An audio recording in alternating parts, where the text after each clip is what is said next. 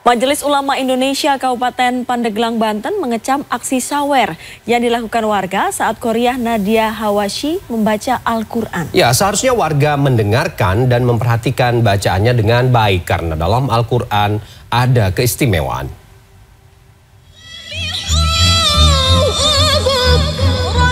Video yang memperlihatkan Korea disawer uang saat membaca Al-Quran di salah satu masjid di desa Cibingbin Kabupaten Pandeglang, Banten dalam acara Maulid Nabi Muhammad Wasallam menjadi viral di media sosial.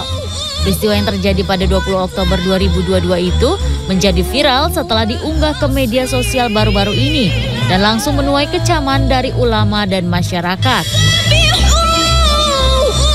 Dalam video ini terlihat dua laki-laki naik ke atas panggung dan menebarkan uang ke arah Korea yang sedang membaca Al-Quran. Bahkan salah satu pria tersebut tampak menyelipkan uang di kerudung bagian kening sang Korea. Tindakan itu menuai kecaman dari sejumlah ulama di Kabupaten Pandeglang. Penasehat MUI Pandeglang Endin Jainuddin mengatakan, ketika seseorang sedang melantunkan ayat-ayat suci Al-Quran, wajib didengarkan dan diperhatikan bacaannya dengan baik, karena dalam Al-Quran ada keistimewaan. Namun ini adalah Al-Quran sedang dibaca sebaiknya Quran sedang dibaca itu kita dengarkan caranya pemberiannya itu supaya lebih baik. MUI Kabupaten Pandeglang berharap kejadian serupa tidak terulang.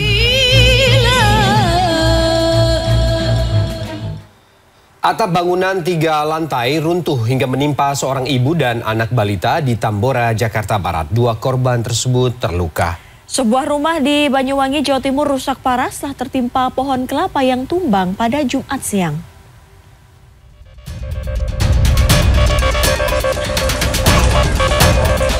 Inilah suasana setelah runtuhnya atap bangunan tiga lantai di Jalan Jembatan Besi 12 Tambora, Jakarta Barat pada Jumat.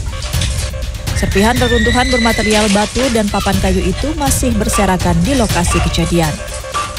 Peristiwa runtuhnya atap coran tersebut terjadi dua kali pada Kamis petang.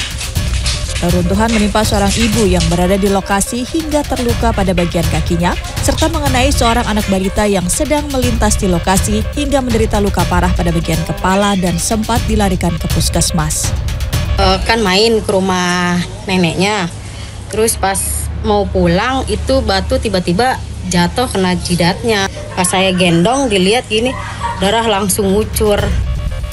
Sebuah rumah di Kecamatan Gelagah, Banyuwangi, Jawa Timur rusak parah setelah tertimpa pohon kelapa yang tumbang pada Jumat siang.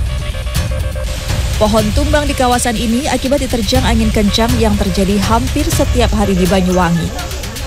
Untunglah musibah ini tidak menimbulkan korban jiwa karena pemilik rumah lari menyelamatkan diri saat pohon menimpa rumahnya. Belasan rumah di Pacitan, Jawa Timur mengalami kerusakan ringan hingga sedang akibat fenomena tanah bergeser. Bahkan empat rumah terpaksa dikosongkan karena kerusakan semakin parah. Warga menduga pergeseran tanah yang mengakibatkan dinding retak ini disebabkan oleh hujan dengan intensitas tinggi. Tim Liputan CNN Indonesia.